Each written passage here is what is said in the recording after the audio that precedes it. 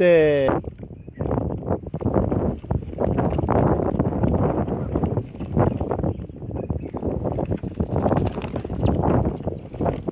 Ela tem enxada.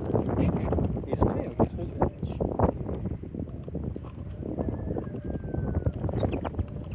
Ah,